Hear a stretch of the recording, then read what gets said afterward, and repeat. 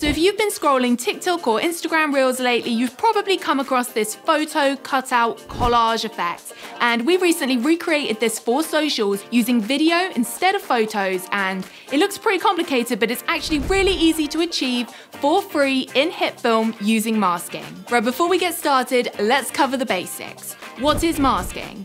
Masking is a video editing technique that allows you to hide, reveal, or change a certain part of a scene rather than just affecting the whole thing. And we can use this effect to cut out certain parts of our footage and overlay it over the other parts to create the collage effect. Now you can get this effect using either photos or videos. All you need is a nice different selection of shots with different subjects in.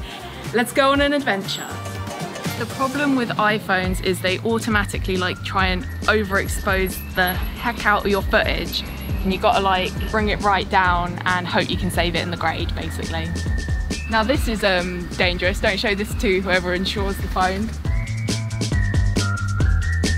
Too it's gone too, it's gone too dark. I'm trying to think the best way to do this that doesn't involve physically grabbing one. How about if I just sit, you coat me in bird feed, and I just kind of go like this for a while, and then hopefully they'll like flock to me. That would work.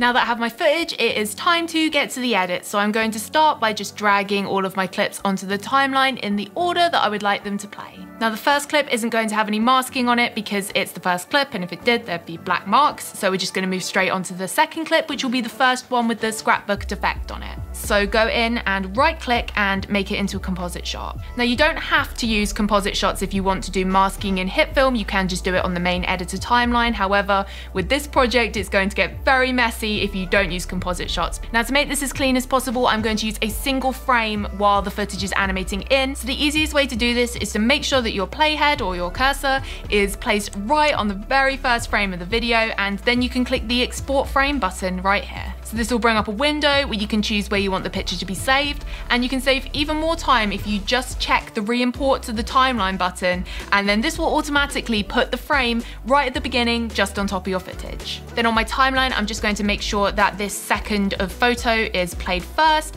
and then just drag the video so it begins straight afterwards. Now as you can see we have a second of a freeze frame and then the video starts moving.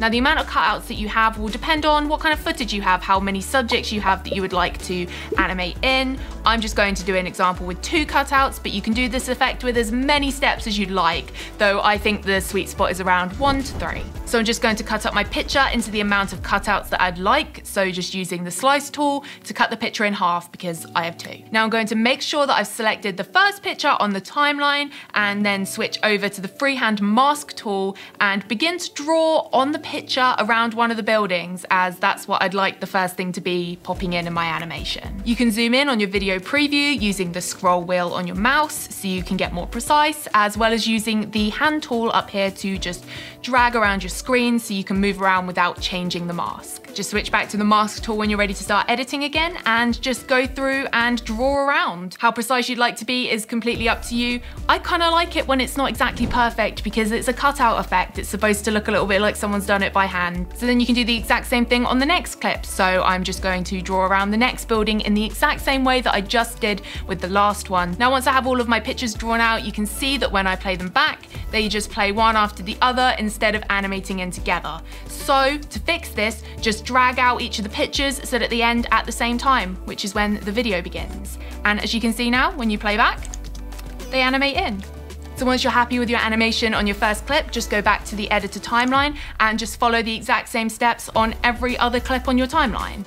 Now, when you come back into the main editor, you'll see that you have loads of shots that play one after the other with the animation and black underneath. So we can now drag the clips so that they slightly overlay each other and the black on the second clip will then be filled with the shot of the previous one and then that creates the photo collage effect. The final step is to pick some music and match your animations to this. So I headed over to Artlist. I actually use their BPM filter to just filter by fast songs because I feel like this trend works quite well when it's done to something quite fast paced. So I found one that I liked and I dragged it out onto the timeline. So then I went through each of the composite shots and shortened the length of all of the pictures inside it to about five frames each. And then just closed up all the gaps so it looked the same as before. So the length that you choose will depend completely on the pacing of the music that you pick. So if you pick something that's a little bit slower, you'll probably want the clips to be a little bit longer. If you pick something more fast paced, not really sure how you manage that, but maybe you need less than five frames. So after the animating in part, I'll leave the video part on for longer than the five frames, so you get a chance to actually watch the scene move on before the next clip, and then drag the next one along to start the animating in of the next scene. So I just finished lining up all of the clips and shortening down the animation length and putting them onto the timeline and creating a little staircase almost for my video. And just like that, my video is ready to be posted on socials. Let us know what you thought of this type of tutorial in the comments below. Please comment, the algorithm gods have my family hostage and if we don't get enough comments, I'll never see them again. See you next time.